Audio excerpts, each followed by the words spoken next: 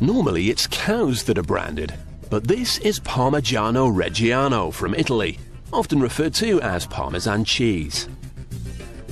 Parmesan does start with cows, but it's only their milk we want. This dairy in Mantova, Italy uses half a ton of milk for each block of cheese. It's made in these huge copper vats. Each one holds 990 litres, enough to make two giant Parmesan wheels.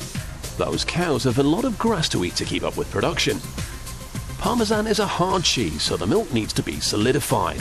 The ideal temperature for this is 33 degrees. To get the milk to solidify, the cheesemaker will use rennet. This enzyme comes from calves' stomachs and it's poured in and left for a while to work its magic. Because of strict European laws concerning trademarks, Parmigiano Reggiano can only be made in certain Italian regions.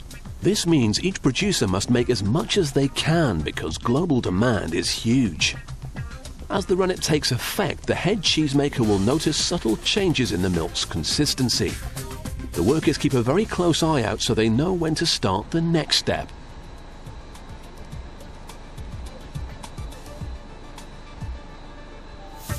When the time is right, they get to work.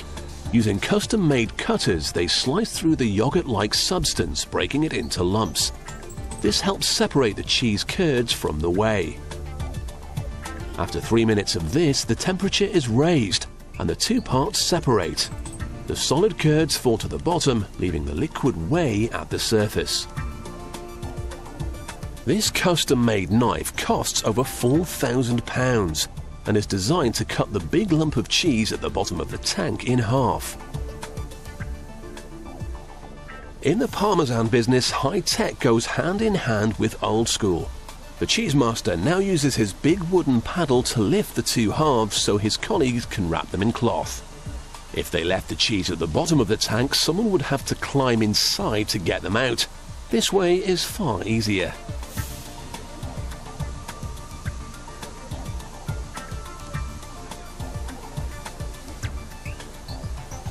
The workers can now suck out all the old whey, making the tanks ready for the next load of milk.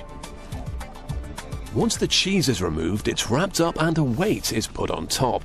This squeezes out any excess fluid. As a hard cheese, Parmesan needs as little fluid as possible. It'll remain like this for 8 hours in a Teflon mould. As the cheese spreads out, this imprints the dairy's name into the sides. After about 24 hours, the Teflon form is substituted for a metal one. Here it will sink down and take on the characteristic wheel shape with a flat top and bottom and curved sides.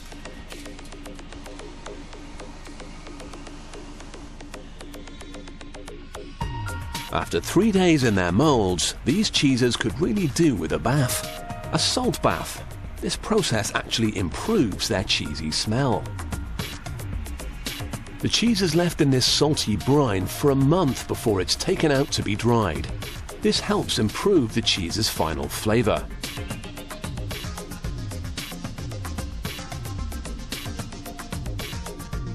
Once it's time to get out of their shared bathwater, they make their way to the ripening room. The contents of this room are estimated to have a total value of 17 million pounds, and our freshly bathed Parmesan wheels are about to join them.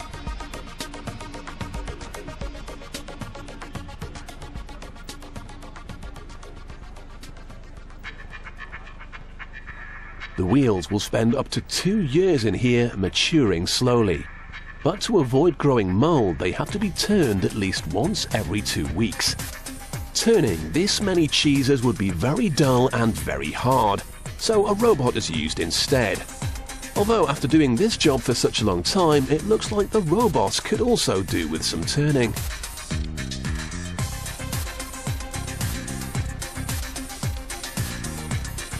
As it matures, the staff keep a close eye on the cheeses. Using his official hammer, the head cheesemaker will tap on a random sample. His expert ear knows the sound of a good parmesan from a bad one. He'll also use a little corkscrew to test a sample and ensure the cheese is maturing nicely. When he's satisfied it's up to scratch, he'll fire up his trusty brand and mark the cheese. From its humble beginnings via some rather dark and briny bathwater, the world's favourite pasta topping is born.